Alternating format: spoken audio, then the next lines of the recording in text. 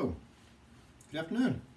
This is David with Mudslinger Pottery, and I'm out here in the studio and I'm working on my bird feeders. Birdhouse, bird feeder. I kind of do the same shape, and then if I'm doing a birdhouse, maybe I'll just do one hole. But I feel like with the four holes, it's probably more like a bird feeder. I mean, it could obviously obviously be used as a birdhouse too. So I put a couple uh, perches for them to get in and out, and then there's some birds that that don't like that, so I leave that off. So this is thrown in one piece, and I'm going to uh, attempt to uh, make one for you today. So let me get this position so you can see my pot here.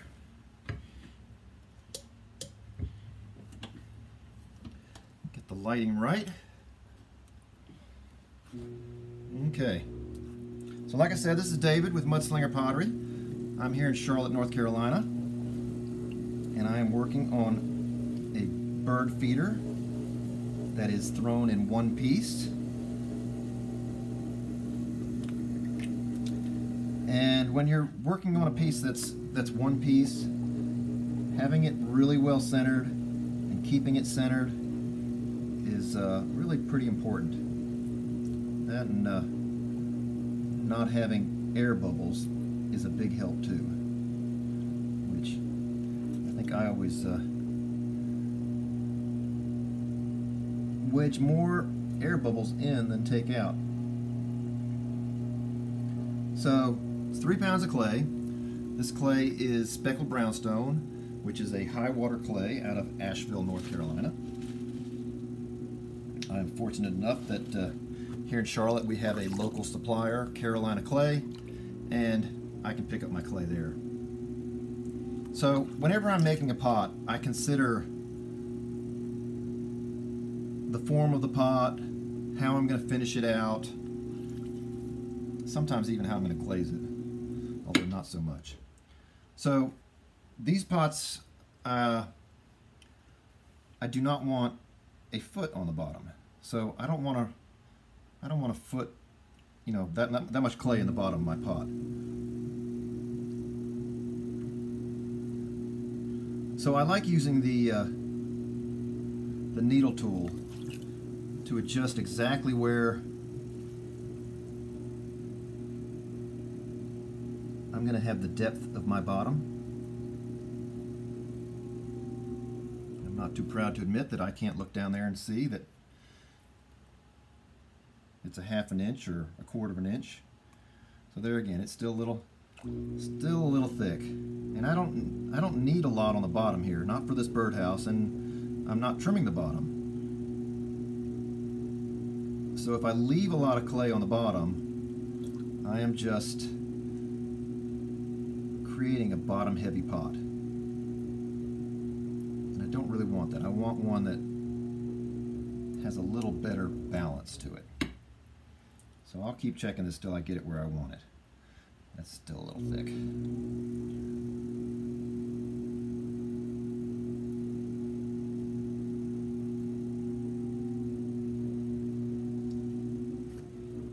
Okay, that should be good. I take a red rib right here that you can't see that's red because it's so brown. These are the uh, mud tool ribs and this works great to uh, smooth out the bottom, really compress it, help keep it from uh, cracking on me.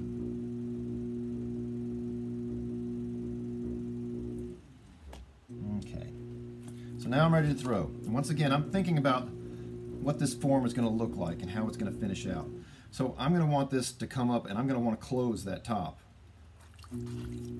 because this is, like I said, it's a one-piece thrown birdhouse or bird feeder, as the case may be. So when I pull, I am going to pull towards the center, try to keep it moving towards the center. The more I get it in the center, the easier it's going to be for me to uh, close it up at the end. So if I can keep it so it's just about like the size of my hand, maybe you know, so my, my hand fits down in there. That'll help me out a lot.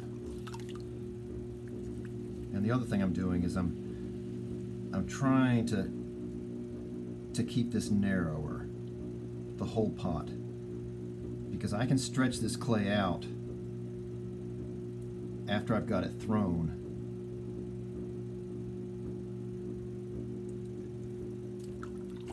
Get it to the shape I want. But I'm really trying to keep this thing centered. And thank goodness I don't feel any air bubbles. That's always a good thing. So I'm just moving this clay up right now.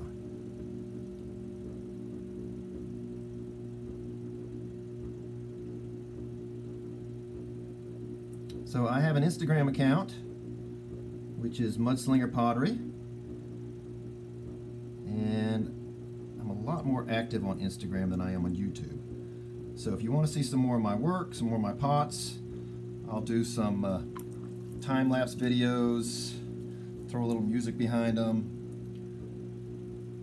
announce whenever sales are coming up or what's going on with the, with my pottery. But check me out, Instagram, Mudslinger Pottery. It's really kind of funny. I was using a Facebook page forever, and my daughter, who is an engineer, set me up for my birthday an Instagram account and said, Dad, you know, Facebook's pretty much dead. You need to start moving on to the next, uh, the next great social networking platform. And she was like, you know, your your pottery would just be neat on Instagram because it's you know it's all photos. So it's been fun. I've really enjoyed it. Enjoyed playing with Instagram, and I've started to do a couple of these YouTube videos. I uh, hope to share some of the, the tips and the tricks that I've learned through the my 20 some years of making pots. And I was talking to someone else and she asked me, she says, why did you start a YouTube video? Why are you starting a YouTube channel? And I really got to thinking about it because I really wasn't thinking about it to begin with. And I mean, obviously I'm, I'm thinking, oh yeah, I'm going to get a million views and, you know, Google's going to start calling me for to put run ads on my videos and then all I've got to do is throw pots and make videos of them and watch the money roll in. Well, that takes a while. so the money's not rolling in, but I'm having fun doing these. And the, the other thing I have to think about, you know, I'm creating a I'm creating a legacy for my my grandkids, great grandkids. They'll be able to say one day, they can go on YouTube and they can say, oh look, there's Grandpa David throwing a pot. You know, maybe I want to do that. But it'll be out there. It'll be for them to see. So I'm keeping this fairly narrow and just raising this up. Thinning that clay out. And what I'll be able to do is stretch this clay out and uh, thin out the pot a little bit more. So I'm going to try to close this in a little bit. And what I'm doing is basically making three three points. So I'm, I'm kind of holding my hands like this. And as I'm looking down on the pot, the clay looks like a triangle. You can't see that because of where the, the camera is. But if I just hold it there and slowly raise up to the top, the clay catches up to itself. And like right now, it's running in a circle, but it's closed in a little, little more than, than it was. So before I get too far here, I want to do a couple decorative type things here. Number one, I have a uh, hard piece of plastic that I've used a drill bit, cut a hole in there and I use that for the foot of my pot. So I can just take that and just stick it on the edge, the bottom edge here, and it creates this nice round foot that gives me a spot where I will glaze to. My second trick is a stiff metal rib. This is a stainless steel rib. I make these and I sell them in my Etsy shop. My Etsy shop is Mudslinger Pottery DAC. So if you ever had an old wooden rib, which most of the people use, I don't know if you can see it, but at one point this used to come into a it used to come into a point like this, and now it doesn't. It's, it's kind of flat. So you've got to be careful which side of the wood you use on it to make sure you're you're using that edge. That's going to keep an edge. It keeps a really thin edge, and it's going to be there for a long, long time.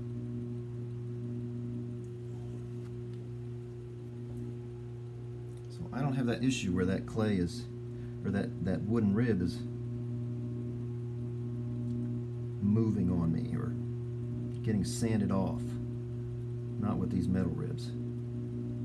So I'm using this metal rib and it basically trims the pot while I'm throwing it. So I'm using it to shape it, get some of this water off of here,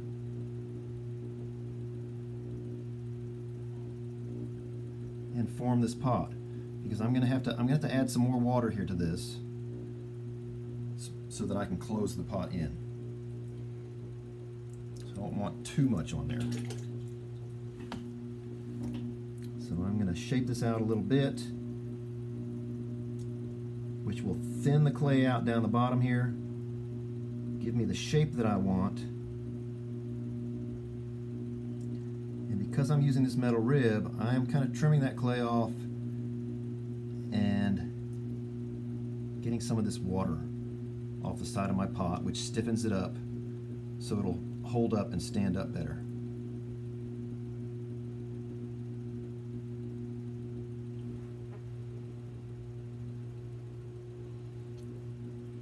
Okay.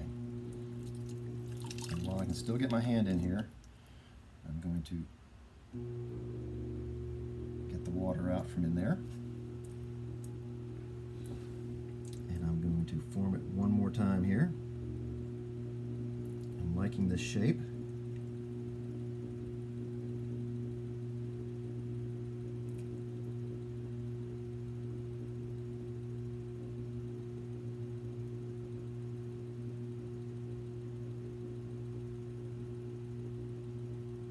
And I can kind of force that top in a little bit. Okay, so now is where it gets tricky. So, like I said, this is a uh, one-piece pot The roof is uh, thrown with it. So what I have to do is I have to close this top up. And what I do is I, I get my hands really wet and I'm basically three or four positions on the, on the pot. Get it a little wet. And then I'm just going to squeeze it and very slowly force my hands up. And once again, I don't know if you can see it, but the top of the pot is basically a triangle right now as I gently squeeze it and push it. But if I just kind of stick with it and hold it there, it will get back into round because it's going to force it into that round that round shape. And as it does, it narrows in the top. But the other thing it's doing, just like I when I move this out, that clay is thinning out.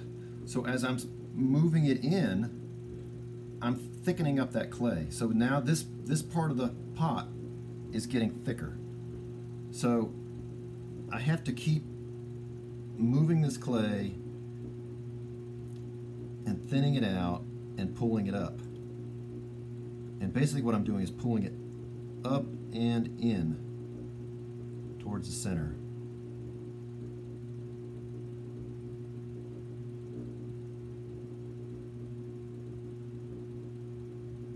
just to thin that clay out. I'm using the heel of my hand to kind of force that in right through here. I'm, I'm using that to to push into. Because if you if you push it too much too quickly, it'll start twisting on you, especially when the clay one part of the clay is a little thicker than the other part. The clay will develop a twist. So I just keep moving this in. And I've got my triangle right here. And if I just hold it for a while, that clay will force back in, get a little closer, get a little tighter, narrow up the hole, and it'll get back to round. And it'll be smaller. So the other thing I can do is take my rib that I've just dropped on the ground here.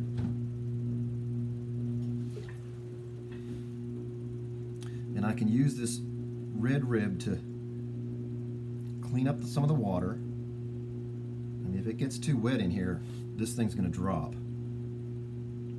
So this way I'm cleaning up some of the water and forcing that clay in. You can see how I'm kind of moving that clay in.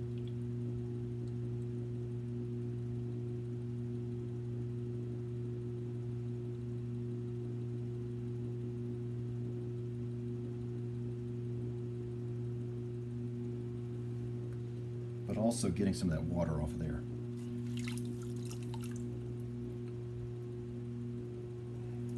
Okay. Once again, narrow it down. Narrow it down. It's really closing in now. This is what we want.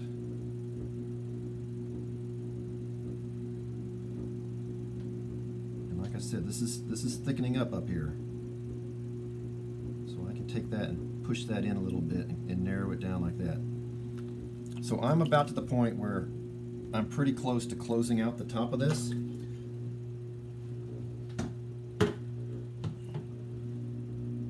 But I don't want to close out the top yet. Get this out of here. Piece of clay out of there. Okay, so I want to shape the pot, I want to create the the roof of my birdhouse. So what I'm going to do is just come in here and come up and then just squeeze in and kind of create this shape a little bit.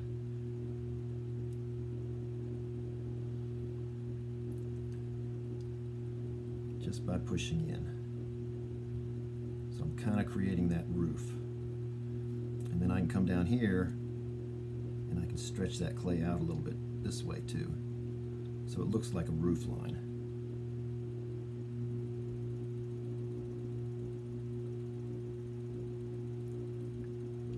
And stretch this clay in. Close this thing out.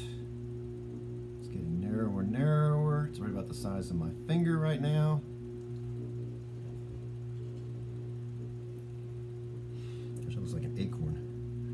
Not quite the shape I was going for. So I'm going to fix this up a little bit.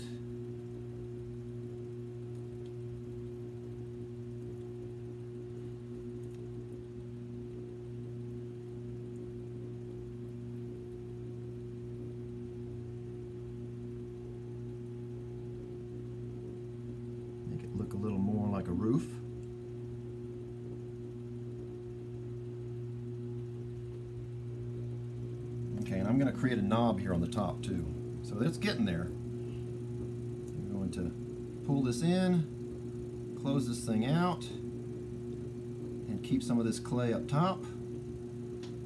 Do one more here.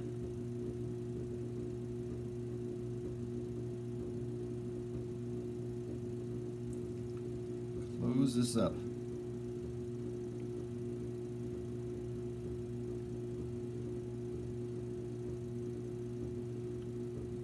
little knob there. So this is closed now. So if I push on one side, the air is going to force it to go to the other side.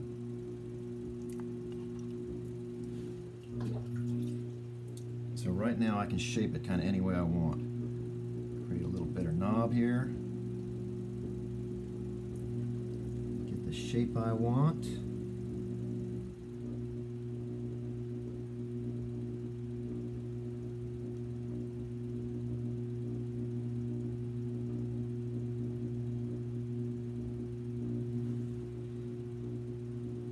Create this roof line I want. And clean up some of this slurry and water that I've got on the top of this, this roof here. So sometimes I just leave the knob like that and I'll run a hole through there. And that is uh, what I'll do. And then the last couple I did, I uh, added a ball on top because I didn't have as much clay right there. So I'm going to clean this up a little bit.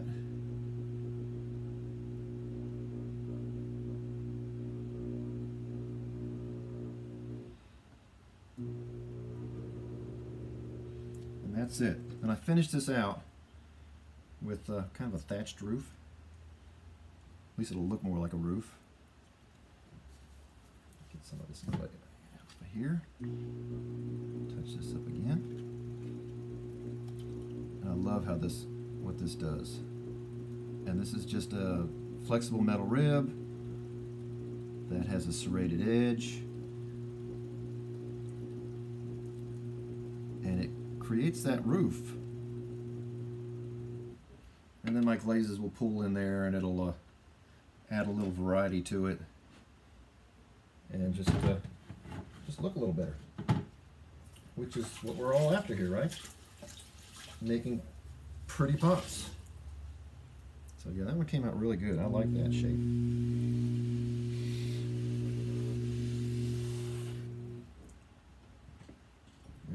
and I uh, touched my foot here a little bit so I'm just gonna clean that up a little bit with my little foot tool.